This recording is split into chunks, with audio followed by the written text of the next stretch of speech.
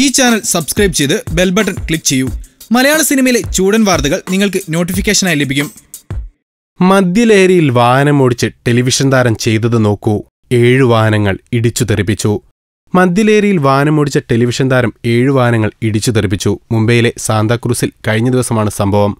നടി രൂഹി ശൈലേഷ് കുമാർ സിംഗ് ആണ് മദ്യലഹരിയിൽ വാഹനമോടിച്ചത്. സംഭവത്തിൽ ആർക്കും പരിക്കേറ്റിട്ടില്ലെന്ന് പോലീസ് അറിയിച്ചു. ഇടിയുടെ ആഘാതത്തിൽ രണ്ട് ഇരുചക്ര വാഹനങ്ങൾക്കും മൂന്ന് കാറുകൾക്കും കേടുപാടുകൾ സംഭവിച്ചതായി പോലീസ് അറിയിച്ചു. സംഭവത്തിന്റെ വീഡിയോ സമൂഹമാധ്യമങ്ങളിൽ വ്യാപകമായി പ്രചരിക്കുകയാണ്. സംഭവശേഷം ചോദ്യം ചെയ്ത ആളുകളോട് നടി കയർക്കുന്നത് വീഡിയോയിൽ കാണാം. അതേസമയം പോലീസ് തനിക്കെതിരെ അതിക്രമം നടത്തിയതായി നടി ആരോപിച്ചു. രണ്ട് ദിവസത്തിനുള്ളിൽ കീഴടങ്ങണമെന്ന് ആവശ്യപ്പെട്ട് പോലീസ് നടിക്ക് നോട്ടീസ് നൽകിയിട്ടുണ്ട്. ഈ ചാനൽ സബ്സ്ക്രൈബ് ചെയ്ത് ബെൽ ബട്ടൺ ക്ലിക്ക് ചെയ്യൂ.